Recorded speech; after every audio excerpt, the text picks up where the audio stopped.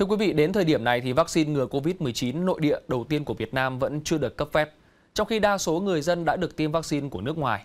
Do vậy, nhiều người cho rằng có lẽ không cần thiết phải tiếp tục nghiên cứu hay cấp phép cho vaccine trong nước. Tuy nhiên, Bộ Y tế cho biết những loại vaccine như là Nanocovax, Covivac có thể được cấp phép để tiêm những mũi nhắc lại cho người dân. Sau cuộc họp ra soát tiến độ thử nghiệm vaccine và thuốc điều trị COVID-19, Thứ trưởng Trần Văn Thuấn yêu cầu các đơn vị của Bộ Y tế xây dựng hướng dẫn tiêu chí cấp phép vaccine COVID-19 sản xuất trong nước với chỉ định cho liều nhắc lại. Về tiến độ vaccine Nanocovax, Bộ Y tế đề nghị nhóm nghiên cứu và nhà sản xuất sớm cung cấp báo cáo dữ liệu nghiên cứu về hiệu lực bảo vệ, làm giảm bệnh nặng và tử vong do COVID-19, chịu trách nhiệm về số liệu nghiên cứu, kịp thời bổ sung tiêm mũi tăng cường cho người tình nguyện.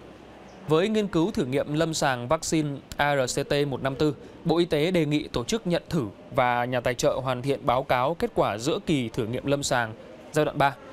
Thực tế là hiệu quả bảo vệ của vaccine ngừa COVID-19 giảm theo thời gian, do vậy hàng năm có thể phải tiêm mũi nhắc lại để đảm bảo miễn dịch.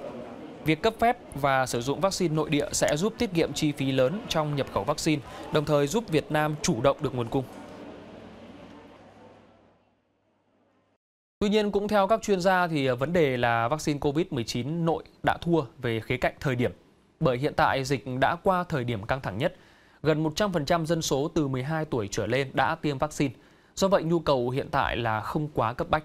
Có dự án thậm chí đã phải xin ngừng nghiên cứu tiếp vì hiện không còn tìm được tình nguyện viên chưa tiêm vaccine để thử nghiệm. Có loại vaccine thì độ sinh miễn dịch chỉ ở mức trung bình, thấp hơn so với vaccine ngoại.